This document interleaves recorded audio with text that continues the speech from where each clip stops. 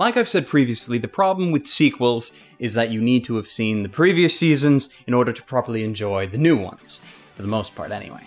And while I can see the argument being made for this show in particular, considering the majority of its cast is brand new, there are still enough nods to previous seasons and appearances by old characters wherein I would still say that, yeah, you need to see the stuff that came before it. Heck, I even reviewed the first season of Genshiken, which you can find up there somewhere. And with that said, ladies, gentlemen, and others, my name is Arkada, and today on First Reaction we are looking at the third season of the wonderful Genshiken anime. Let's jam.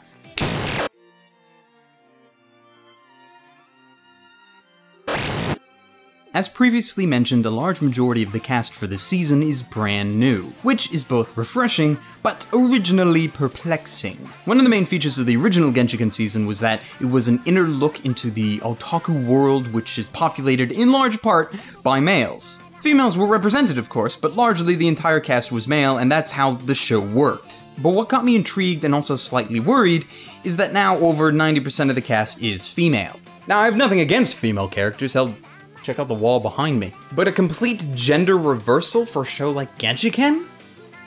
I will admit I was a little worried. Granted, most of that worry is because I have not rewatched the show in a long time, and I happen to forget one of Genshiken's major themes. And that is, of course, tolerance. As such, most of my fears seem to be for naught.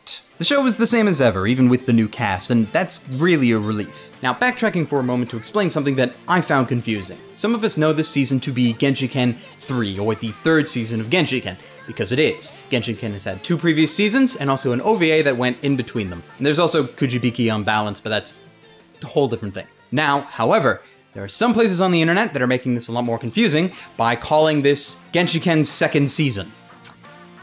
Which it's not. Now, I could be completely wrong with this, but in the past we have had third seasons of animes that are titled in ways to make it seem like the second season. Does Full Metal Panic ring any bells? But personally, I think this is just a mistake of some people on the internet who don't actually know any better.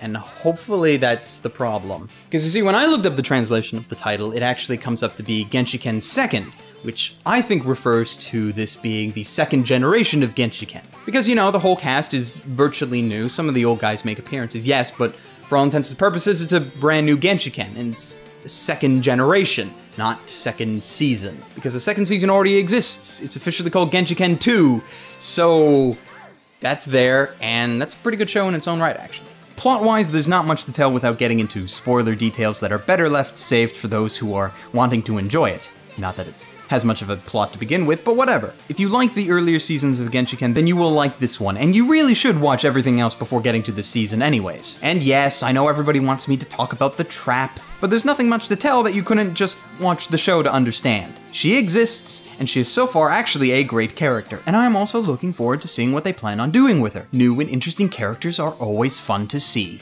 Obviously, I'm going to be continuing to watch this show because I've been a fan of the original since God knows when. And the original Genshiken is one of the few series that I don't mind rewatching multiple times because I just enjoy watching it. Both of the original seasons, as well as the OVA, have been licensed by Media Blasters and are available on DVD if you happen to go out and watch them, which I suggest you should because there are actually very good shows that look into other aspects of this culture we like to live in. And of course, this specific season of Genshiken is also available over on Crunchyroll, and you can click on the link down below or the one that I will have listed right here for a free trial of Crunchyroll's premium services so that you can experience all the anime awesomeness that it contains. Post in the comments what you guys thought of Genshiken 3, but remember, if you're from the future, no spoilers, please. And until next time, ladies, gentlemen, and others, stay frosty.